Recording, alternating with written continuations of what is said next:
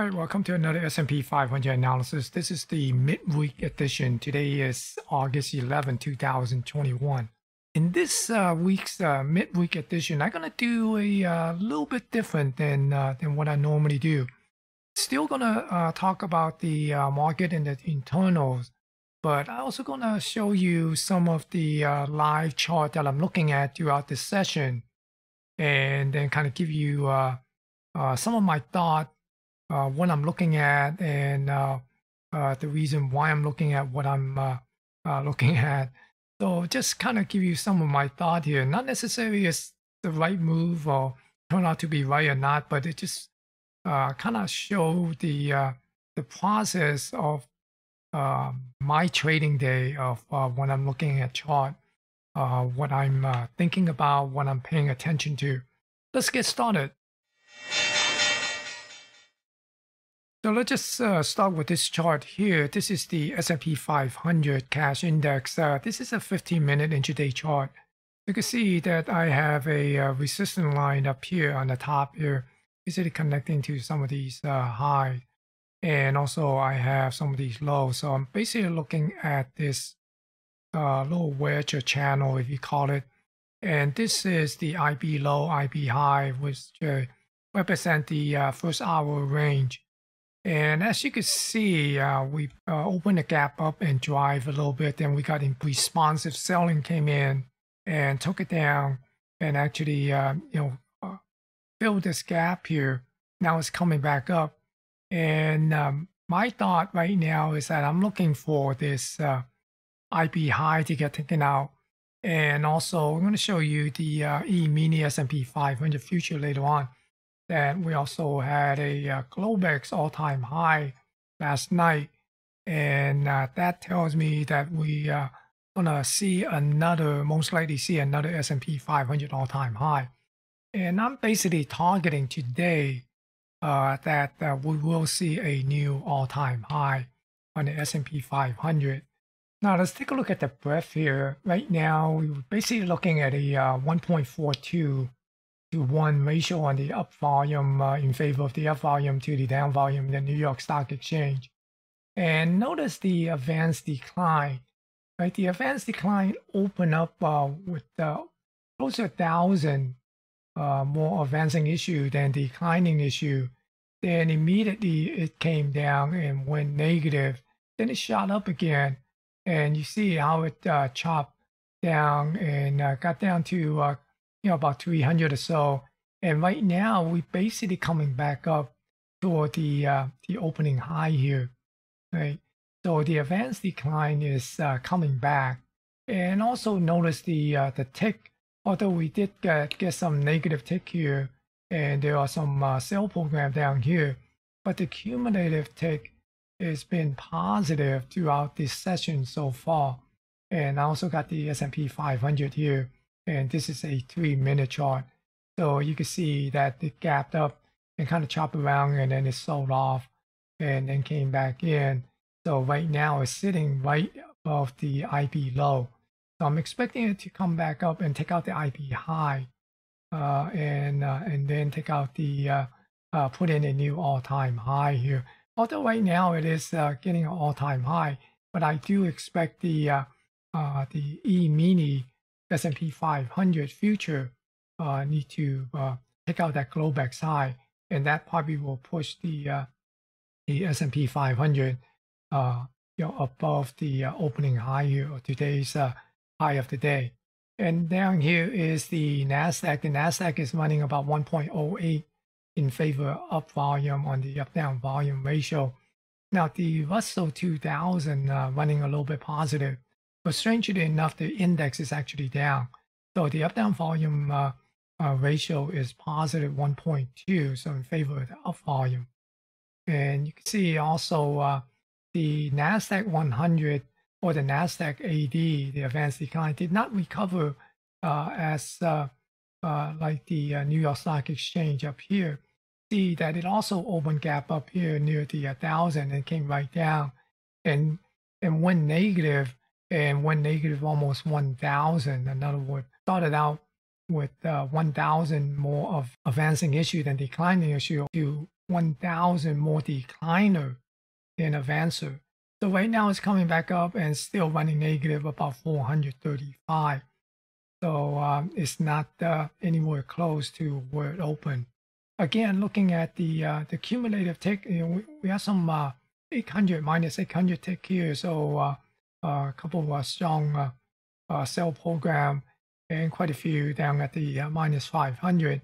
And also notice the the cumulative tick been negative throughout the session so far. Although right now it's trying to come up and getting close to the neutral area here. So uh, we'll see would it get positive or not, but uh, definitely it's a uh, much uh, different uh, picture than the uh, New York Stock Exchange. And here I have the NASDAQ 100, E-mini NASDAQ 100 futures instead of the cash index. So you can see that it is below the IB low and running below the uh, the uh, today's uh, VWAP. So um, also it came down and tagged the uh, overnight low. Now let's take a look at the E-mini S&P 500. I have the market profile on the left and the uh, uh, a tick chart with the volume profile. So as you can see here, I marked off the uh, the Globex all-time high that was made uh, last night and it's sitting at uh, 4,443 and a quarter and uh, we have a uh, uh, clean high here. Earlier there was a uh, poor low, and I shorted the the SPX, the S&P 500, and scalped that poor low, and then I covered when it got down here. So right now I'm actually long the uh, SPX, playing for the uh, the all-time high here, or playing for a uh, you know higher high, higher than today's opening high or high of the day because I expect this to uh, come back up, the E mini S&P 500, the ES, come back up, take out this IB high, and come up and tag this uh, Globex all-time high here. So I'm expecting the uh, ES to go above 42 and a quarter today. Uh, notice on the uh, the volume profile, see that the uh, the price came down and dipped below the VWAP, and it kind of chopped around on that. So uh, it uh, trade inside of this IB range, then it broke down and came down here to yesterday's uh, point of control, okay, the POC, right? And then we got a nice support and got a bounce here. So, so when you see uh, you know price react to these uh, technical level, kind of give you the indication the short time framer uh, is in control of this market.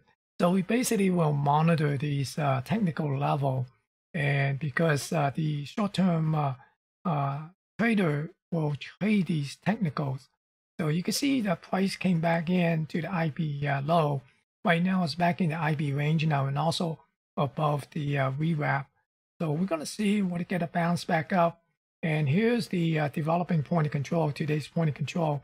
So we're going to come up to this point of control and take out the uh, value area high and probably push this through and come up and tag this level. And that's the reason why I'm long here right now is basically playing off of this bounce. And right now it's getting above this VWAP. So we're going to see if the uh, VWAP will hold. If the uh, price hold above this VWAP, then we know the buyers are in control. And we're essentially looking for this thing to move up. And also today is OPEX Wednesday. So you figure that there will be some uh, shenanigan that they're going to play. Now, in addition to watching the uh, the S&P 500 and the E-mini uh, ES, I'm also uh, looking at uh, Tesla. And right now, you can see uh, Tesla is trading down for the day. It's down half a percent or $3.87. The thing is, I am actually have a, a, a put spread on Tesla because I'm playing it uh, basically. I'm I'm looking at this thing to come down at least, uh, you know, get down to this low here, or take out yesterday's low. Okay, so uh, although remember I do have a uh, bull flag that uh, monitoring, and uh, that hasn't been uh, play out yet. As matter of fact, that that bull flag haven't been triggered yet. Yet, so uh, so that might not uh, uh, become a real uh, pattern to play. So right now, I'm essentially looking at Tesla to uh, come down and take out some of these low here. So, uh, so I'm basically looking at that, and uh, if I zoom in on this, so you can see after I zoom in, you notice that there is a uh, poor low here on Tesla for today. So that's the reason why I'm also, uh, you know, holding this uh, this uh, put vertical, basically playing off of this poor low and uh, waiting for it to uh, at least come down to this uh, seven uh, 701 area. Basically, I'm looking at uh, 695. I might not get it today, but uh, that's the uh, level. So let's go uh, take a look at the uh, the candlestick chart here. So on this uh, daily chart of Tesla, uh, this is the uh, bull flag that I'm referring to. I got some major move target here. Okay, so and uh, this is the one of the balance area that I'm also monitoring. The I posted on my Twitter stream a few days ago. We, we basically have these balance area, right? This one here, and also this larger one. So right now, basically monitoring this bull flag to see would it be able to uh, break out and uh, come up and hit these major move. And if we get up to this upper edge of this balance area, and that will be basically the 80% major move. And if we get above that, then we could possibly hit this 100% major move. Right, so you can see that 100% is somewhere around 795. Right now, I'm basically looking for the possibility of another leg down, another candlestick come down and uh, put in another test at the uh, the lower level, you know, this uh, lower trend line of this flag here. Okay, and that's basically what I'm playing at right now with that poor low on the uh, profile chart for Tesla. And here looking at the 15 minute intraday chart of Tesla, you see uh, basically sitting right at that, uh, that edge right now. And I'm looking for this thing to come down to this uh, uh, this trend line here, or possibly near this level here, 695 area, right? So, uh, so that's basically I'm looking at and see would it come down. And essentially, I'm looking for it to uh, come down and do another push like this, then maybe possibly break out of this flag and then move toward the uh, 795 area. Okay, we got less than five minutes before the closing bell. I thought I'd give you a quick update then after the quick update and after the bell, I do a full recap of the S&P 500 and other major market indexes and the internals and the sentiment. But uh, right now, we're basically looking at a uh, positive close on the S&P. And uh, the uh, ES did not come up to this Globex all-time high. It got close, but it did not uh, get there. As you can see, the uh, STF, the short time frame is basically uh, trading these technical level. Right?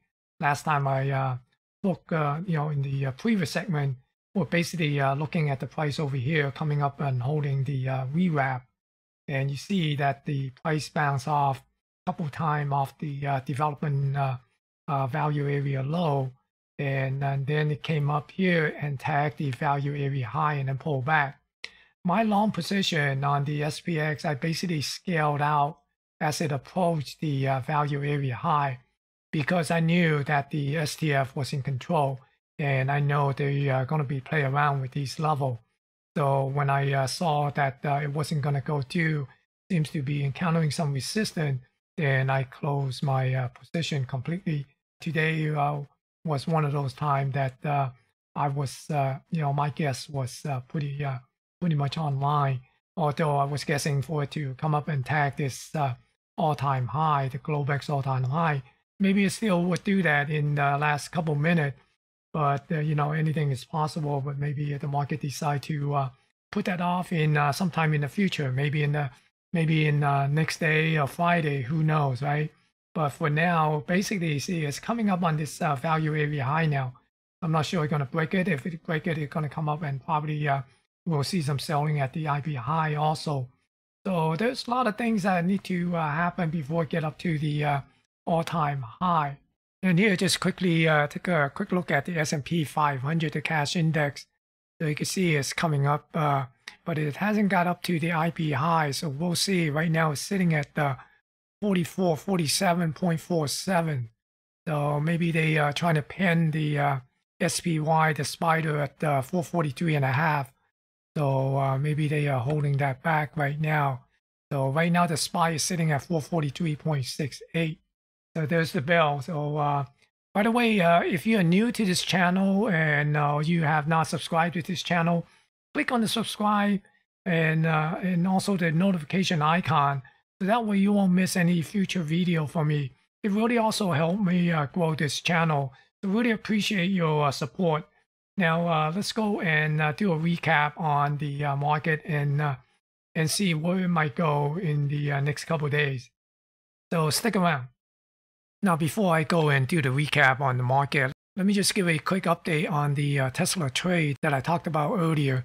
Remember I was saying that I have a put vertical on Tesla um, you know, and I'm basically playing it for to uh, pull back uh, near the uh, 695 area before it uh, makes a uh, make a push, you know, to uh, break this this bull flag here and work its way up to possibly you know up in the 795 area.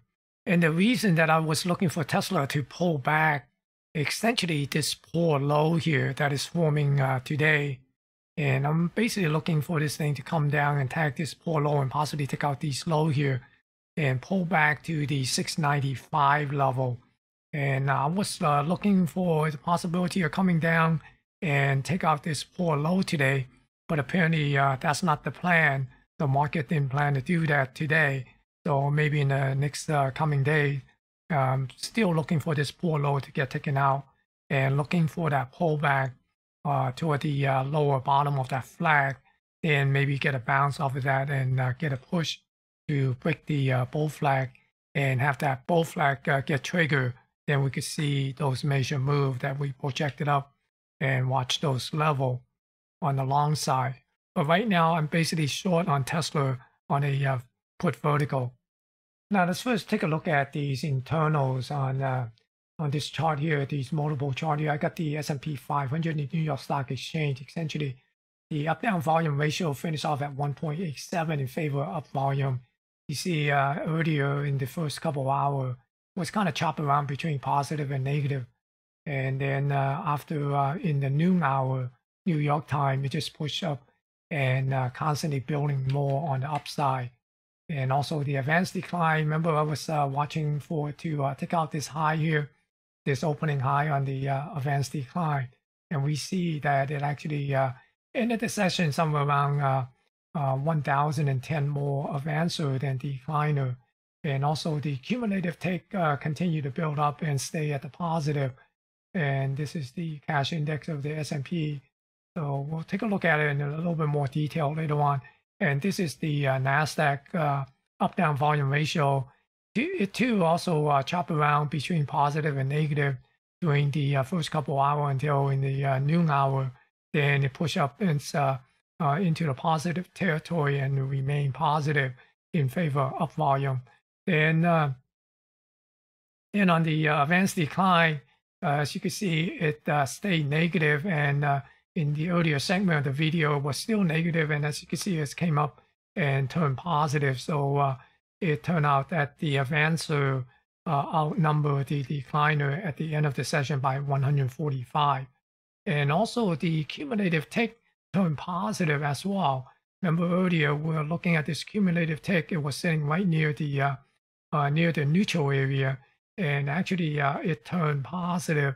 So it closed positive on day, and there has been uh, quite a number of buy program up here in the afternoon uh, you know, those that is up at uh, positive 500 or higher. So looking at this uh, daily chart of the S&P 500 and the uh, sentiment, uh, we see the S&P 500 did close with a new all-time closing high once again, although the E-mini S&P 500 still have an all-time closing, I mean an all-time Globex high that need to take out.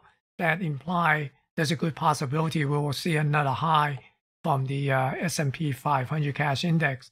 So the S&P 500 closed with a gain of uh, 10.95 points or 0.25%. The VIX uh, closed at 16.06. So the uh, market participants still uh, relatively uh, complacent and the put call ratio is at 0.53. So it's still a little bit risk on. So here's the uh, closing number on the up-down volume ratio of 1.94 in favor of the up volume and the advanced decline. The advanced outnumbered the decliner by a margin of 1,121. And the new 52-week high outnumbered the new 52-week low by uh, 144. There were uh, 181 uh, new 52-week high versus uh, 37 new 52-week low.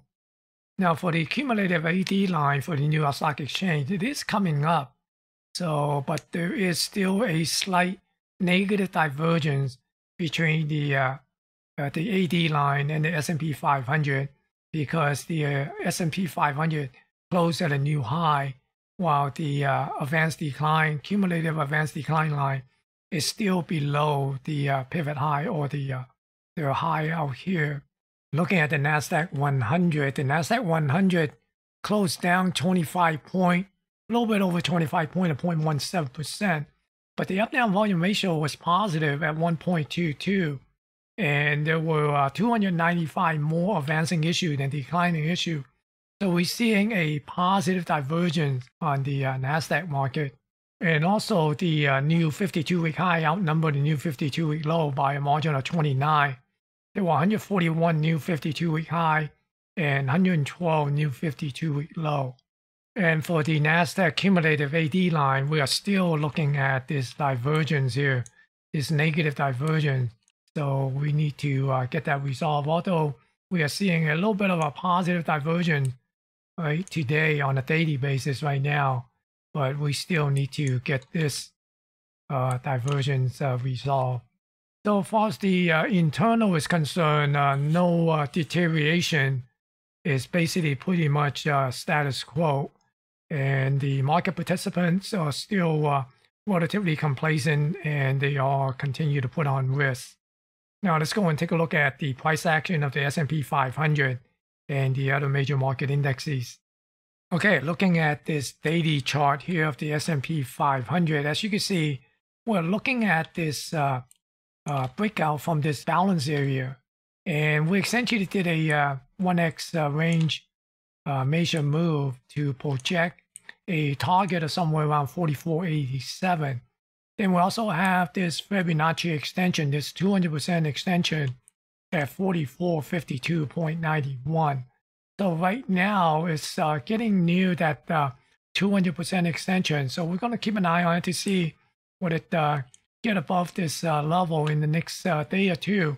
Remember, we have that Globex high that the E-mini has to take out. And when that is getting tagged during the regular hour, then the S&P 500 will most likely come up and tag this 445291. Now, if it's continue to run up, then essentially the uh, potential target here it's the uh, 4487 and it could even get higher than that, you know, get above this 4500 and come up to this trend line here. And on the downside, if it decide to pull back, then if it get back into this value area, then we have the uh, balance area rule in play, and that will mean it will be traced back to the other end of this uh, balance area, and that will bring it back down to somewhere around this uh, 4378, this 1618 extension here. Right, so so those are the uh, near-term targets or level to keep an eye on. This one here, 1618, 4378, and the 200% uh, 4452 and then the uh, 4487. And looking at the Nasdaq 100, although the uh, the tech is getting kind of weak uh, recently, so I wouldn't be surprised to see it pull back and uh, test these level here. You know, the uh, 141 at 14,850, or even come down to this trend line, basically in confluence with this 127 at 14,584. So those are a couple of the levels to keep an eye on on a pullback from the Nasdaq 100. But if it decide to uh, reverse itself and continue to push up, then we'd be uh, looking at this 1618 at 15,233 and uh, possibly push up to this uh, trend line here, and that will be over 15,500. Now for the Russell 2000, remember this uh, balance area that we're looking at right now and also this trend line, we're saying that it needs to get above this 2297, then get outside, break up above this balance area, then we have a shot at the all-time high. But if it's uh, unable to get up to this uh, 2297, then we essentially are looking for the possibility of reverse itself back down and retest this lower end of this balance area. And if it's unable to hold it, then we'd be uh, looking at 2075 for the next potential support level. So the uh, level on the upside to keep an eye on continue to be this uh, 2297, and then on the downside is essentially down here at 2125, 2130 area here. You know these uh, these low.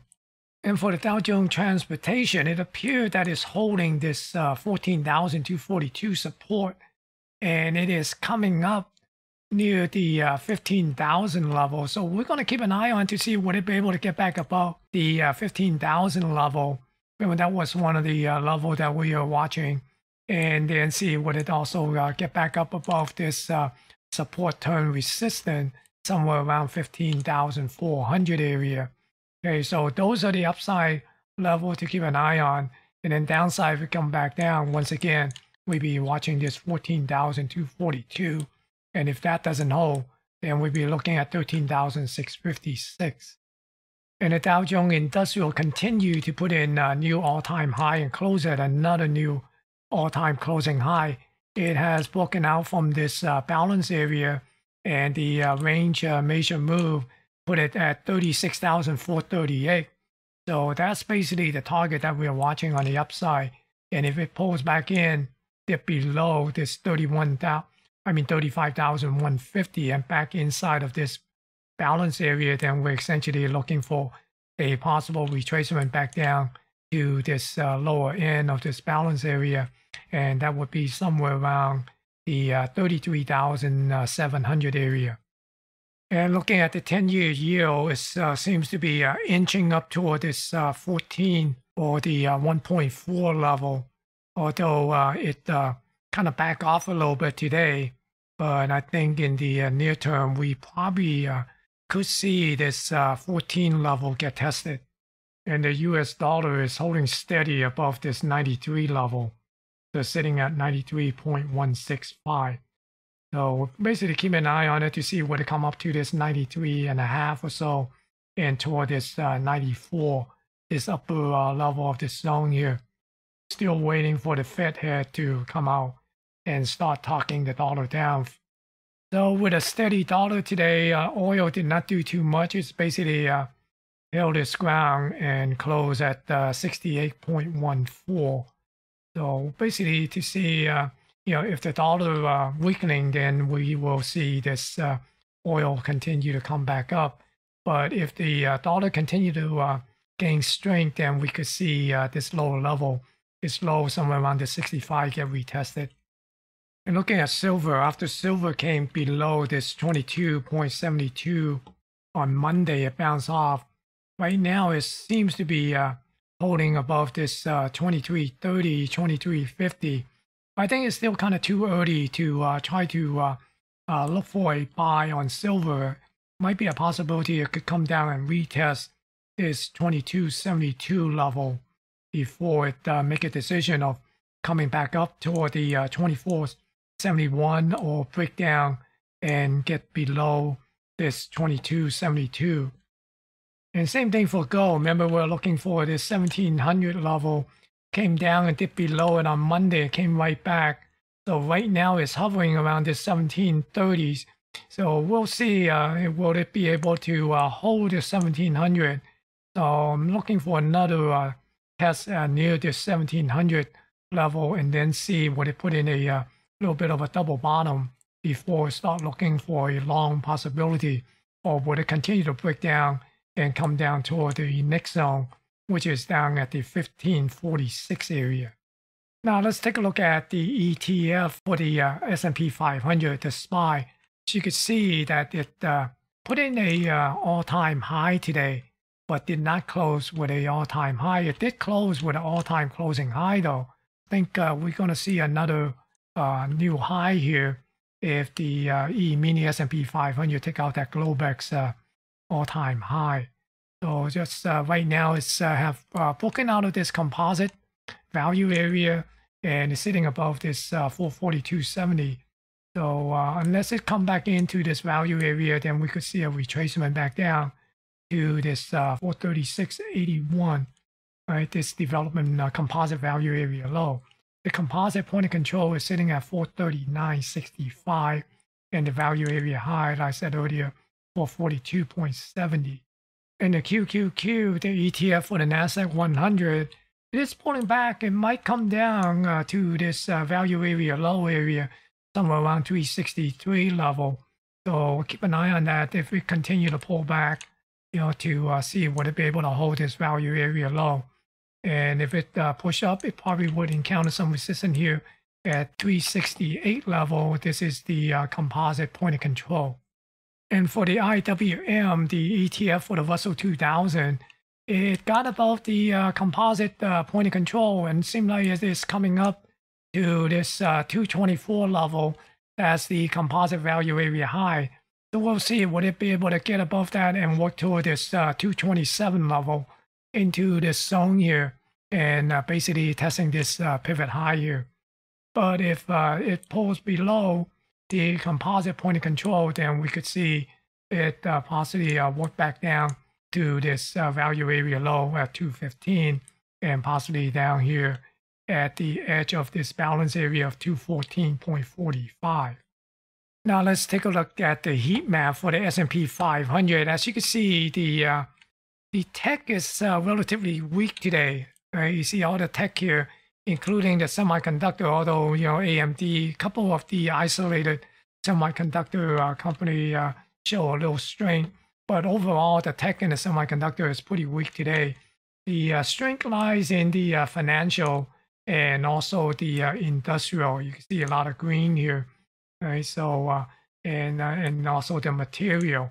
So this probably due to the uh, the rate, you know, maybe uh, the uh, tapering from, from the Fed, anticipating earlier tapering than uh, than the uh, Fed uh, uh, planned on, and also the industrial and also the material probably is due to the infrastructure bill that just got passed, and I guess the market like it and anticipating those sectors will uh, benefit from that in infrastructure spending bill. And this is just a look of the NASDAQ 100 heat map. So you can see uh, Moderna the uh, uh, cooling off a bit after a uh, you know unbelievable run since it uh, got uh, put into the S&P 500. And Zoom is also uh, uh, pulled back a bit. So let's take a look at this down 3.75% on Zoom and uh, 15% on Moderna's. So all in all, the market is still holding steady. I think the market is still got a little bit more upside, although they it is overstretched. But there's not much we could do about it until it decides to pull back. So just be cautious and manage your risk. Let me know in the comment section below how you like the uh, the live material that I recorded at the beginning of this video. You like them uh, or uh, it's useless or pointless. So just let me know so I know uh, what sort of content to uh, uh, put in on some of my video and what to uh, leave out. And be sure to uh, smash that thumbs up to help me promote and share this video. Thank you for watching and stay safe.